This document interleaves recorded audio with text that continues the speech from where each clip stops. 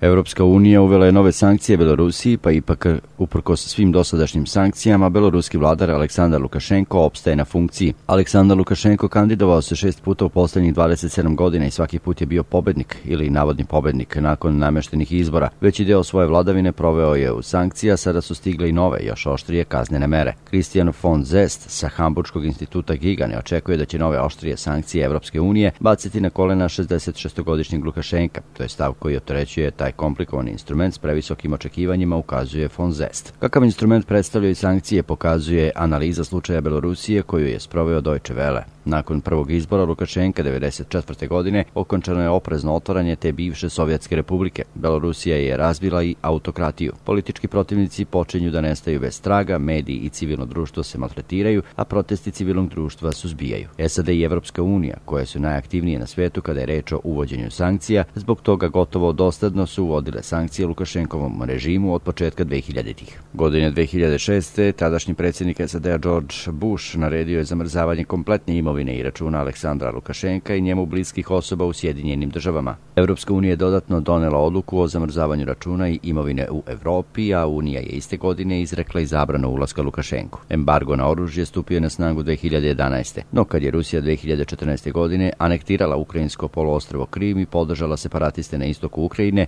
Evropska unija ponovo se obratila vlastodržcu u Minsku zbog sobstvenih bezbednostnih interesa. U to vreme je Minsk, glavni grad Belorusije, postao važno mesto za diplomatske napore, a Evropska unija je 2016. ukinula sankcije protiv Belorusije. Ostao je na snazi samo embargo na oružje. Ta faza popuštanja odnosa okončana je lažiranim predsjedničkim izborima i nasilnim suzbijanjem mirnih, a masovnih protesta u avgustu 2020. Brisel je u tri navrata uvodio nove zabrane ulaska i zamrzavao račune i imovinu u inostranstvu. Do sada se na crnoj listi nalazilo 88 ljudi i 7 firmi, ali pre nekoliko dana taj spisak je proširen.